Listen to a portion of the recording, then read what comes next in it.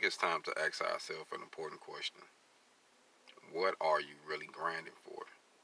Are you doing it for the cars, the house, the the uh, nice neighborhood, to get the nice girl or the nice man? Or what are you doing it for? What are we grinding for? I mean, what are you really doing it for? So that way you can be able to rub it in somebody else's face to say, hey, I told you I can do it. What you doing it for? I had to ask myself that question too.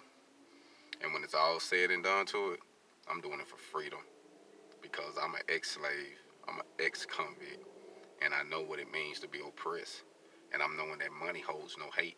And if I understand how to use it, and I utilize it, and I multiply it, it can give me freedom. That's why I'm doing it. I'm doing it for the freedom.